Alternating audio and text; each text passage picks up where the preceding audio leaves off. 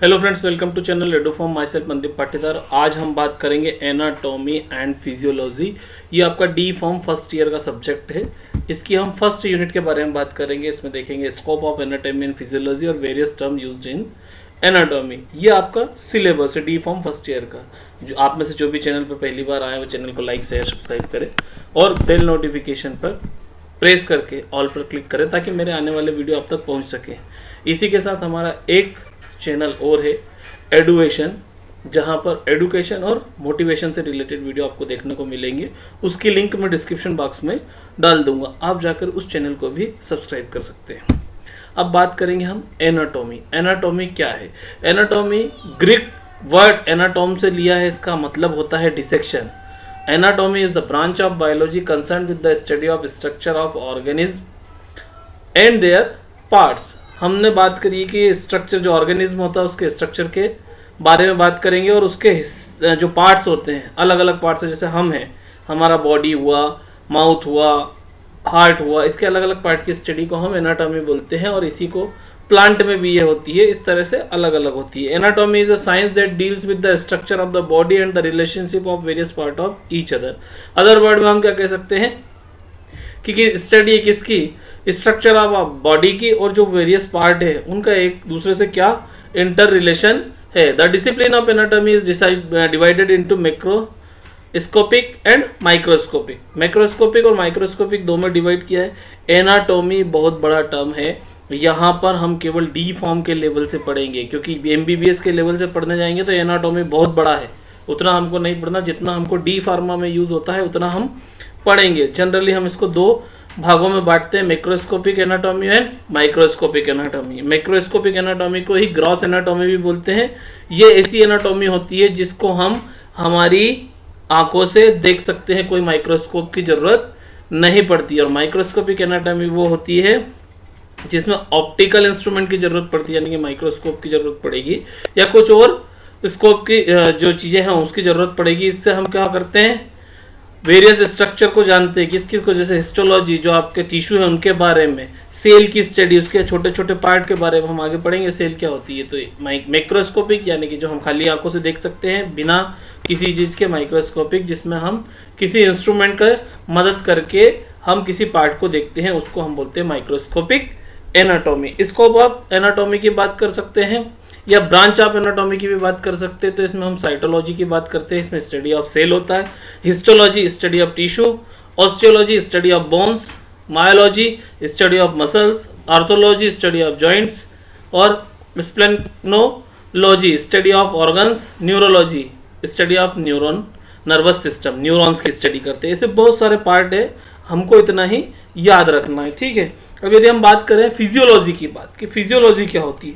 Physiology is the science of the life which deals with the normal function of the body ये ऐसा science है life का, जो हमारी बॉडी के नॉर्मल फ़ंक्शन के बारे में बात करता है। It explain how various system in the body functions together normally as a single unit ये फिजियोलॉजी क्या एक्सप्लेन करेगी? ये एक्सप्लेन करेगी कि हमारी बॉडी में सारी चीज़ें एक सिंगल यूनिट के रूप में किस तरह से मिलके काम करती है। डेफिनेशन बात करेंगे तो हम किस तरह से लिखेंगे? Physiology is defined as the study of function of various system and different organ of the body physiology क्या हो गया? आपका स्टडी का हो गया, आपका फ़ंक्शन किसके फ़ंक्शन की बात कर रहे हैं? वेरियस सिस्टम जो जितने भी सिस्टम है हमारे इसमें क्या क्या सिस्टम है हम बात करेंगे। और ऑर्गन ऑफ़ द बॉडी हमारे यहाँ डाइजेस्टिव सिस्टम है रेस्पिरेटरी सिस्टम है नर्वस सिस्टम है। ठीक है, ये एक अलग अलग सिस्टम है। और उनके ऑर्गन डाइजेस्टिव सिस्टम में, जैसे कि हमारा माउथ हो गया, स्टमक आ गया, ठीक है, इंटेस्टाइन हो गया, इनकी सबकी स्टडी करेंगे मतलब सिस्टम की स्टडी करी और ऑर्गन की स्टडी करी, इसको हम बोलते हैं फिजियोलॉजी फिजियोलॉजी अलग अलग तरह की हो सकती है, कैसे? ह्यूमन फिजियोलॉजी एनिमल फिजियोलॉजी अलग रहेगी और प्लांट फिजियोलॉजी इतना आपको याद रखना है डी फॉर्म के हिसाब से. अब स्कोप ऑफ़ फिजियोलॉजी के लिए बात कर ले तो क्या होगा? हम यदि ह्यूमन की बात करें, यानी इंसानों की बात करें तो हम जनरल फिजियोलॉजी हमारी बात कर सकते हैं। ब्लड एंड बॉडी फ्लूड आपका ब्लड है प्लाज्मा है सीरम है, ये आगे पढ़ेंगे हम, हमारे ब्लड में कितनी चीज़ें होती है। तो इसका एक स्टडी करी, ये एक फिजियोलॉजी हो गई, आपकी मसल्स की फिजियोलॉजी हो गई, आपके डाइजेस्टिव सिस्टम की फिजियोलॉजी हो गई रीनल फिजियोलॉजी और एक्सक्रीशन आपने देख लिया। Endocrinology reproductive system cardiovascular system respiratory environmental physiology nervous system और स्पेशल सेंस फिजियोलॉजी ये सब जो ऑर्गन है, इनकी फिजियोलॉजी को हम अलग अलग डिवाइड में हमने इसको डिवाइड कर लिया। अब definition of various terms use in anatomy ये आपका एक पार्ट है। इसमें बहुत भारी, बहुत ज़्यादा डेफिनेशन से अलग अलग टर्म है। यदि आप मेडिकल हिस्ट्री में जाएँगे तो कितनी सारी टर्मोलॉजी वो यूज़ करते हैं। हमने कुछ बेसिक ली है, जो हमको पढ़ना है। क्योंकि अदरवाइज़ हमारे बोन्स के जो मूवमेंट है बॉडी के जो मूवमेंट है फिर हमारा प्लेन में क्या, किस तरह से बॉडी है, ये सब बहुत सारी चीज़ें एमबीबीएस लोग पढ़ते हैं, हमको वो नहीं पढ़ना है। अब the study of woman body is alone in anatomical position anatomical position क्या होती है? जिस तरह से आपने डायग्राम में देखा, व्यक्ति ऐसा सामने से खड़ा दिखेगा हमको, और उसकी जो दोनों पाम है, वो इस तरह से रहेगी। यानी कि दोनों फ्रंट में रहेगी बैक साइड नहीं रहेगी। इस पोजीशन को हम बोलते हैं anatomical position in this position the body is erect the head facial forward arm by the sides of the palm of the hands facing forward ये सब चीज़ें फॉरवर्ड रहेगी, यानी कि सामने रहेगी। इसको हम बोलते हैं एनाटॉमिकल पोजीशन अब इनमें, इसमें हम बात करते हैं कुछ टर्मिनोलॉजी की। मीडियन लाइन मीडियन लाइन किसे करते हैं? इसी को कहते हैं सेगिटल प्लान सेगिटल प्लेन ठीक है? मीडियन लाइन को सेगिटल प्लेन भी कहते हैं।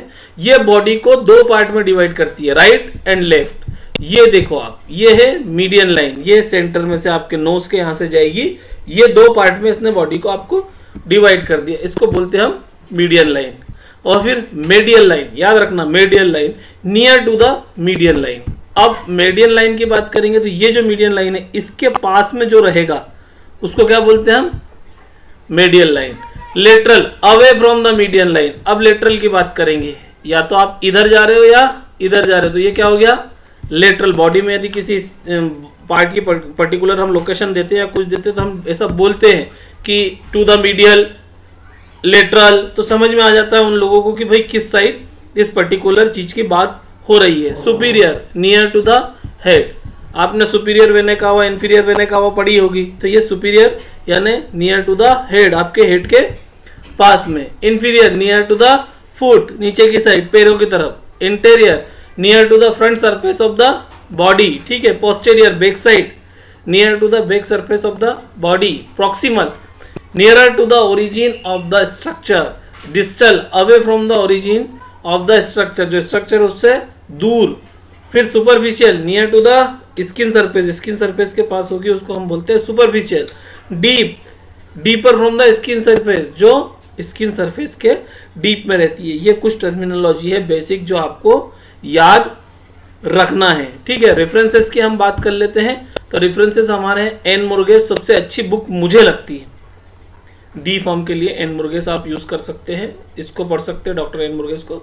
और दूसरी essential of medical physiology by doctor K Sembulingam and doctor प्रेमा सेम्बुलिंगम काफ़ी अच्छी बुक है और गूगल से हमने ये लिया है। चैनल को लाइक शेयर सब्सक्राइब कीजिए। और बेल नोटिफिकेशन को प्रेस करिए। इसी के साथ साथ हमारा एक चैनल और है एडुकेशन उसको भी सब्सक्राइब कीजिए, वहाँ पर मोटिवेशनल और एडुकेशनल वीडियो दोनों तरह के वीडियो आपको देखने को मिलेंगे। तो हमारा यूनिट फ़र्स्ट कंप्लीट हो गया। अब नेक्स्ट लेक्चर में हम सेकंड यूनिट सेल के बारे में बात करेंगे। Thank you